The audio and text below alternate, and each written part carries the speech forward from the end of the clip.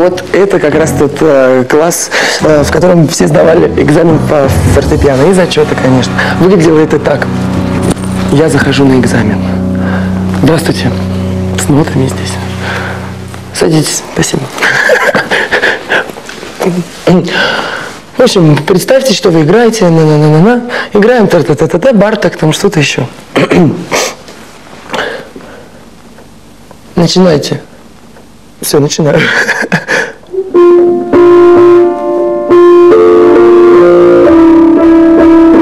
Главное, глаза должны быть выразительными.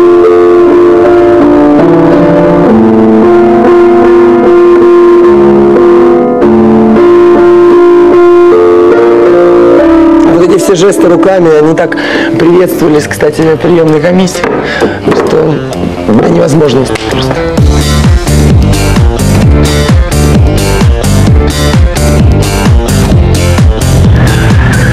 Ночной хулиган, у меня есть талант Я крутой музыкант и я вечно пьян Днем крутой музыкант поражал воображение преподавателей.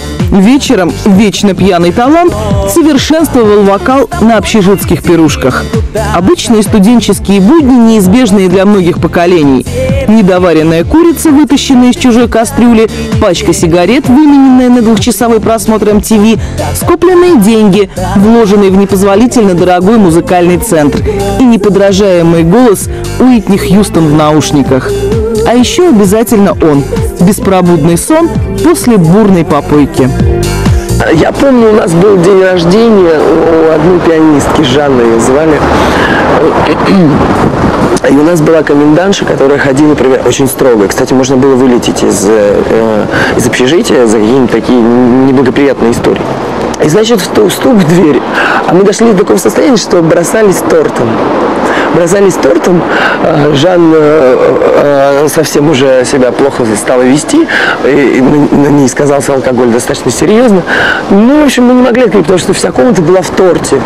И открывается дверь, и кусок торта летит прям в нее. Скандал, конечно, ну, такой не из, не. Запомнилось очень.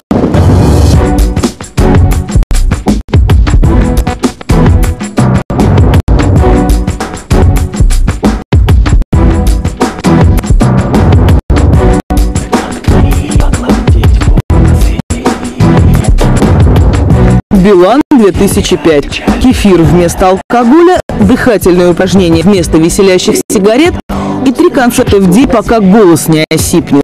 В выходные студия. Три года строгого режима под окрик матерого надзирателя с хищной улыбкой. Он о нем мечтал, он его получил. Успех по фамилии Айзеншпис. С самого начала все шло вот именно так, как я хотел. Мне даже иногда становится страшно, потому что мысли настолько материализуются. И вот те мелочи, которые я себе представлял, именно в таких мелочах они и сбывались.